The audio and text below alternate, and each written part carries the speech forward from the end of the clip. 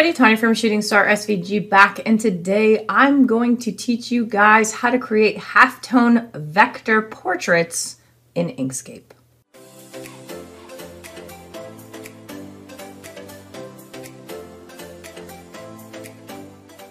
So this is your first time here, go ahead and click on like and subscribe below as that does keep me motivated to continue making these videos so that way you can grow your business and change your life. And if you haven't already, head on over to the Facebook group where we are creating a community of like-minded individuals looking to grow their semi-passive income with digital downloads. I've been kind of racking my brain on different techniques I can show y'all in Inkscape that are super cool.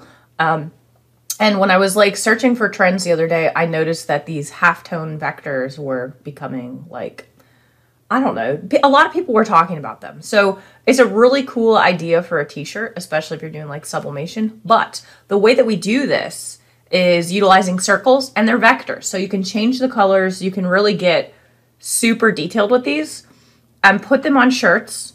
And then, you know, from close up, it, it's like that full on Monet thing. You know, it looks like a bunch of dots. And then when you stand back, you can actually see like a freaking picture. So it's super cool. I wanted to walk you guys through how to do this with a picture that I have and hopefully you'll get something out of it. So let's head over to the computer screen. We'll get started.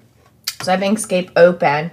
Uh, you can see this cute picture of my son in the tubby when he was, oh God, I have no idea. Um, what I'm going to do first is I'm going to delete this layer that I have on here because I'm not sure why it's there. All right. So we got my kid here. And what we're going to do is you want to turn whatever photo you have to grayscale. So, okay, so to make this grayscale, you're going to go to Filters, Color, Grayscale, all right? Uh, make sure you click on the live preview. If I can actually select the picture and do that. Let's try that again. Filters, Color, Grayscale. Make sure you have live preview selected. And you just want to make sure you get this grayscale tone. These default settings should be just fine. Go ahead and click apply. You can close out of that window. Now what we're going to do is we're going to take our circle and you're going to hold down control and you're going to make a circle. Now, this is where it gets a little bit difficult because the bigger your circle, the less detail that it's going to have, okay? But, oops, I forgot one step. I'm sorry. Now that we have our photo grayscaled, you're going to go to Layer, Add Layer, okay? And you're going to want to make sure that it's above current and click add. Um, you can go ahead and open up your layers panel by hitting shift control L or just clicking on the layers and you'll see these two here. So if I go ahead and do that, you'll see that uh, he goes away.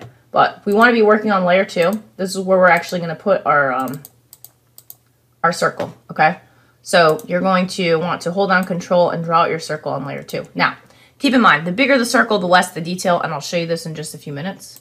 So because this is such a good, a big picture, what we're going to do is we're going to zoom in here um, to the corner because we're going to get this aligned in the corner. Uh, select the circle, select the image, go to your alignment panel, and make sure that you have it on last selected, and then just align that to the top corner, okay? I'm actually going to make this smaller, so holding down control, I'm just going to go ahead and bring this down way, way down, okay? This is going to give me some more detail. So you can probably barely see it when you zoom out, depending on how big your photograph is, okay? Now with the circle selected, what you're going to do is you're going to go to Edit, and you're going to go to Clone, and you're going to click on Create Tile Clones, and that's going to open this up, right? On the top here, you're going to want to click on Trace. You want to make sure that it says Trace the drawing under the clone sprayed items. Um, you're going to click on Color. You want to make sure Presence and Size is selected. And then for the width and the height, you want to make sure that it is set up to whatever the width and the height of your photo is. So you want to click on that. Uh, mine's 42 by 56 inches. So you can see here I have 42 by 56 inches, okay? Um, and then make sure you have your circle selected. And then you're just going to click on create. And it'll take a minute here, especially if there's a lot of detail. So we'll just be patient. Okay, so we have all of our little circles here. Um, and right now you're just like, oh, this doesn't look like a freaking picture at all. But here's the thing. Go back to your layers and you're just going to hide that bottom layer with the photo. And you can actually see little baby Callum here. Now when you really zoom out, it looks like the picture. And then when you zoom in, obviously it looks like a bunch of dots. So um, I apologize because I do have my document bounding um, here. What you're going to want to do is you're going to take this clone away. And that's not what I ended up doing. I'm going to bring that all the way down. And you're going to take this clone away. That's our original circle. And you're just going to make sure that you break the clone. So you can do that by hitting Shift-Alt-D or just clicking on this icon in the top bar. Because if you were to change the color of this now, um, let me just back that up. So if I was to change the color of this now, it's going to change the color of all the dots. Same thing if I resize it because they're all cloned together. So, I mean, if you wanted to go for like a different color, um, you could go ahead and do that. But if you wanted to come in and really get detailed and like kind of colorize certain dots a certain way to make it look more realistic, you could do that. Obviously, the more dots you have, the more time this is going to take. Uh, and similarly, you know, you can go in and delete dots if you just wanted to say isolate uh, a certain portion of the photo as well. Um, but I just wanted to go over this because it's a really cool, it's a cool effect, right? Like, it's not something that I've ever thought to do before. And then I was like, you know what? I can do this. I can do this. So I went ahead and just looked up some stuff so I could try to teach you guys um, how to do this. So again, you can use virtually any photograph. You just want to make sure that you grayscale it, create another layer on top with the circle, um, and then go from there. So I'm just going to back out. I'm going to show you what this looks like with a uh, larger circle. Okay, so I'm actually just going to come in and I'm going to increase the size here of this. Whoops, that's not what I wanted. I'll go back, select to layer 2, and I'm just going to increase the size of this. Now, you can see that it's still kind of small on the canvas, but if you go back to the, the clone tiles and you click on create, um, you're going to have much bigger circles.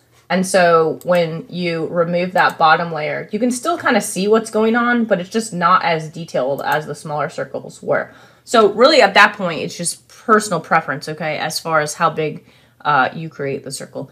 And you can do this with other things. I mean, you don't have to do it with just the circle shape. You could do it with hearts. You could do it with anything. Um, it's just the circles kind of give you that impressional, impressionist kind of like dot art that you may have seen out there. So that's how you do the halftone vectors. You can definitely uh, change colors. You can make it as less or more detailed as you might want. And it could be a cute little gift to get to get for somebody to put in a shirt or some sort of home decor. So again, these little circles are all vector. Hopefully you all got something out of this. If you have any questions or comments about the process, please drop a comment in the comments box below or head on over to the Facebook group where we can chat about it.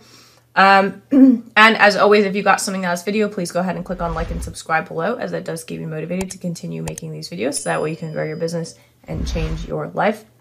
And if you're interested in more tips and tricks on Inkscape, a lot of these videos I will put in the Inkscape course themselves where you can learn how to create SVGs and sell those for a semi-passive income profit. Um, that's all I got for you guys. I will catch you on the next video. Shooting Star SVG, signing out.